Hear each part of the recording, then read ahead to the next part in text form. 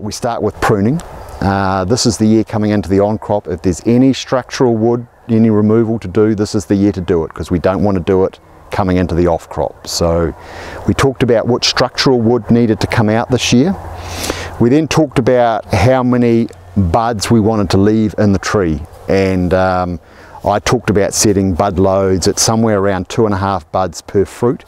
The idea of that is that if we then chemically thin the tree really hard, uh, we can try and get the crop down to so that at least half of the spurs actually have no fruit on them because it's the fruit that's that's carried on the spur that turns the bud off for the following season. It's the hormones coming out of the fruit seeds that turns it off. So if we can have half of our spurs resting, then they're more likely to produce fruit the following season. So uh, we, we talked about pruning technique to keep the tree calm, that's important, low vigour, we need that, uh, setting it up with the right number of buds, but then I said pruning's only just one part of the jigsaw.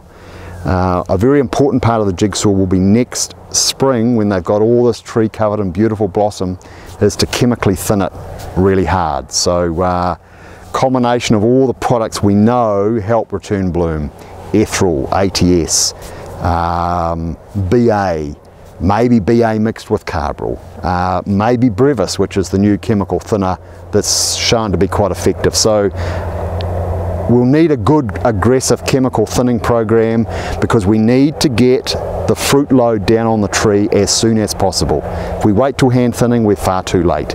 So that's the next step in the equation. Then the third step I mentioned is that a biennial crop of Fuji in its on crop almost should be the first crop that you hand thin.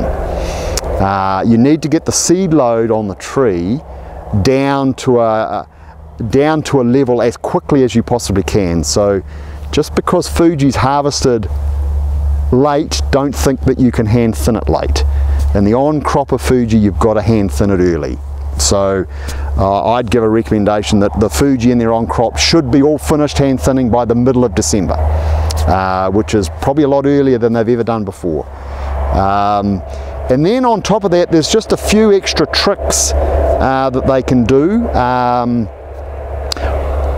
We've decided on this block not to root prune, but root prune is, uh, is effective if the trees are very vigorous because you've got to get vigor out of the tree. If you're going to get regular crop, you've got to get vigor.